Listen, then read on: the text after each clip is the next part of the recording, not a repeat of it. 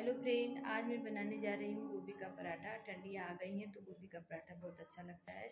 तो चलो शुरू करते हैं। और मेरी रेसिपी अच्छी लगी तो प्लीज़ मेरे चैनल को सब्सक्राइब कर दें ये देखिए, मैं लेकर आई हूँ गोभी। और अभी गोभी बहुत महँगी है। ये थर्टी रुपीज़ की गोभी है। तो चलो इसको मैं अच्छे से धो करके और कट करके इसको कद्दूकस कर लूँगी। फिर मिलते हैं।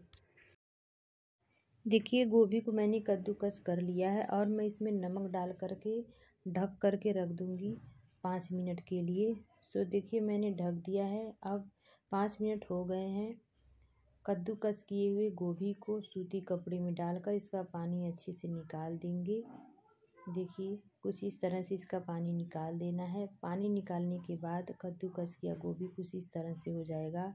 इसमें डालेंगे अदरक, धनिया और हरी मिर्च, लहसुन, इन सारी चीज़ों को मिला देंगे। साथ में डालेंगे इसमें कसूरी मेथी, हल्दी पाउडर, अजवाइन, गरम मसाला, भुना जीरा पाउडर और इसमें मैंने डाला है मैगी मसाला और चाट मसाला। अमचूर पाउडर है तो उसको भी आप लोग डाल सकते हैं। मेरे पास नहीं था तो मैंने नहीं डाला।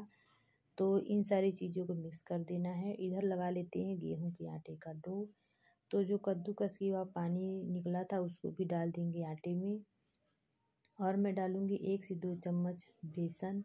उसके साथ डाल देंगे एक से दो चम्मच मलाई थोड़ा सा धनिया मेरे पास बचा हुआ था। और कसूरी मेथी रोस्टेड, इसका डो लगाकर ढक के रख देंगे दस मिनट रेस्ट के लिए। इधर तवा चढ़ा देंगे, तवा पे रख देंगे घी, तब तक पिघलने के लिए। दस मिनट हो गए हैं डो को लगाए हुए। इसको अच्छे से मैश कर लेंगे।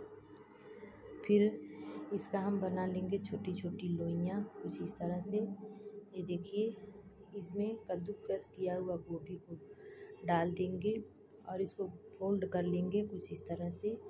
और फोल्ड करने के बाद इसकी बना लेंगे हम लोग लोई। लोई बनाने के बाद इसमें थोड़ा सा आटा लगा करके इसकी रोटियाँ बना लेंगे कुछ इस तरह से।